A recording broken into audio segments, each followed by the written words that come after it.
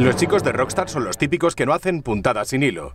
Si hacen un tráiler de un minuto, lo llenan de pistas para que la gente juegue a averiguar qué es lo que vamos a ver. Nosotros vamos a puntualizar las 10 cosas que más nos han llamado la atención del anuncio oficial de Red Dead Redemption 2. ¿Qué es lo que vemos en el vídeo? Naturaleza muy variada, muy realista. Pues esos son parte de los decorados que podremos vivir en el juego. Montañas, bosques, ríos. No solo caminos entre diferentes ciudades, naturaleza en toda su esencia. Es importante remarcar la importancia del agua en el vídeo. ¿Y por qué? Pues porque nos parece que va a ser un entorno por el que también nos vamos a mover. Tal vez podamos ir en barcas, por ríos, o podremos nadar. En el primero no podíamos hacerlo. En la nueva entrega es más que probable. Cuando vimos el tráiler de GTA V no nos hacíamos cuenta de que el juego se iba a ver así. Ahora con este tráiler estamos seguros de que el nivel que nos vamos a encontrar va a ser así de alto. Gráficos, luces, texturas, todo es increíble. El vídeo muestra una perspectiva tremendamente cinematográfica para contarnos lo que tiene que contar. Lo que vemos en este vídeo, prácticamente todo lo hemos visto en alguna película, y concretamente en las mejores.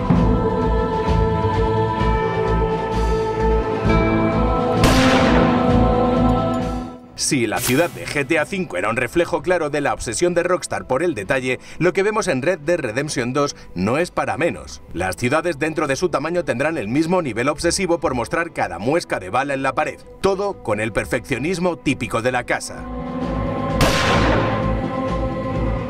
Es pronto para confirmarlo, pero todo apunta a que el grupo de forajidos que sale en el tráiler puede ser el de los propios compañeros de juventud de Marston. Sean ellos o no, nos han recordado a los protagonistas del clásico entre los clásicos grupos salvaje de Sam Peckinpah.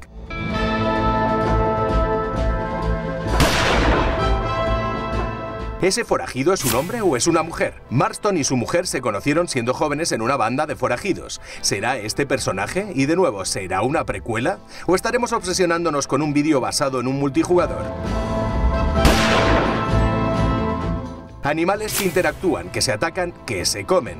En la primera entrega nosotros interactuábamos con ellos, los cazábamos y nos los comíamos. Ahora ellos son los que se atacan, los que se comportan de forma realista.